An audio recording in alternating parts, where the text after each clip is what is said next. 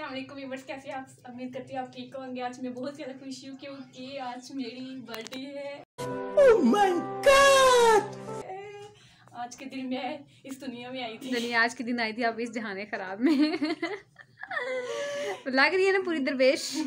किसी दरबार पे बैठने जा रही हूँ। ये मैं कायनात को आपको कायनात की फुल लुक दिखाती हूँ। ये। कमेंट्स में बताइएगा चुड़ैल लग रही है ना? नहीं खूबसूरत लग रही हूँ। क्या देख रही हूँ? पापा की पड़ी। मैं प्रिंसेस लग रही हूँ। असलकुम कैसे हैं? सब ठीक है? यार हमारा वीकेंड ही ख़राब हो गया था कि क्योंकि आपको पता है कि मनूस मनूस इलेक्शन आ गया उसकी वजह से मेट्रो सर्विस कल से बंद थी, हम लोग इतनी दूर गए। आपको पता, आपकी बहन पैदल चल के जाती है, रिक्शा तो लेती नहीं है, बहुत ही कंजूस है आपको। कंजूस नहीं कह सकते, लेकिन वो बचत करती है ना। हम लोग जब वहाँ पे पहुँचे, चल चल के, चल चल के वहाँ पे पहुँचे तो आगे जी, वो कहते हैं जी, मोए मोए। मतलब कि मेट्रो सर्विस जो थी, वो बंद थी, मैंने बर्थडे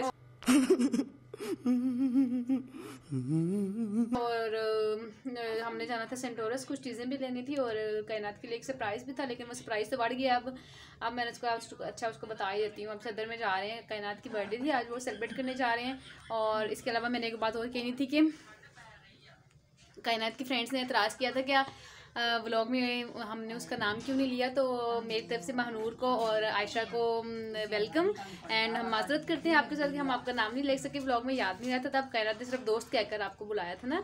तो हम आपको अपने ब्लॉग में वेलकम करते हैं। ठीक है, अभी हम चलते सदर सदर जाके देखते हैं कि कहाँ पे करते हैं कैनात की बर्थडे सेलिब्रेट क्योंकि कैनात कह रही है कि के एफ़ पे जाना है। मतलब कि पहले जाएँगे वहाँ पे चाय खाना से या फिर ग्लोरी दिन से लेंगे इसके लिए। कोई चीज़ फिर वहाँ से लेके और साथ कैंडल भी लेनी पड़ेगी। क्योंकि उसके बगैर तो बर्थडे कंप्लीट नहीं होती ना। बस वहाँ से चीज़ लेंगे, फिर हम जाएँगे जाके सेलिब्रेट करेंगे, पुप्पो अंकल नहीं जाएँगे क्योंकि वो घर पे रहेंगे। पुप्पो को ड्रिप लगनी है, आज वो जाएँगे डॉक्टर के पास ड्रिप लगवाने के लिए और हम लोग जाएँगे बर्थडे सेलिब्रेट करने के लिए, मिलते हैं आपके पास थोड़ी देर के बाद। यार बड़ी मुश्किल से हम लोग ने माने जा सर से मिले। यार ये इतने अच्छे हैं इतने पोलाइट हैं इतने प्यार से मिले हैं। उन्होंने कायनात को सर पे हाथ रखे हैप्पी बर्थडे भी बोला साथ ही प्रोड्यूसर भी थे।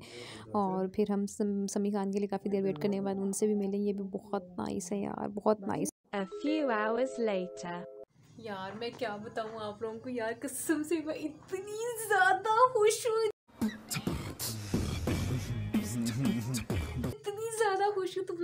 हम लोग जा रहे थे बर्थडे सेलिब्रेट करने ना, स्टेशन से गुजर के गए तो मैंने वहाँ पे देखा कैमरे शामे लगे हुए मैंने कहा, यार कुछ सीन लग रहा है, मुझे तक कुछ सीन हो रहा है ना। मैंने वहाँ से एक बंदे से पूछा, कहते हाँ यहाँ पे शूटिंग चल रही है या नुमान जहाज़ और वो समी खान आए हुए हैं हाय हाय, यार, मेरी खुशी की इंतहा नहीं थे, हम वहीं पे रुक गए, यार, कसम से मतलब पहले शूटिंग शूटिंग देखी, उनकी घंटा खड़े रहे, पहले वहाँ पे फिर एक जाने वाला बंदा मिल गया, वो कहता है कि मैं आपका मीटअप करवा देता हूँ। हम, यार, कसम से, जब हम गए अंदर, हमने लाइव देखा बस, क्या बताऊँ फीलिंग्स कुछ समझ में नहीं आ रहा।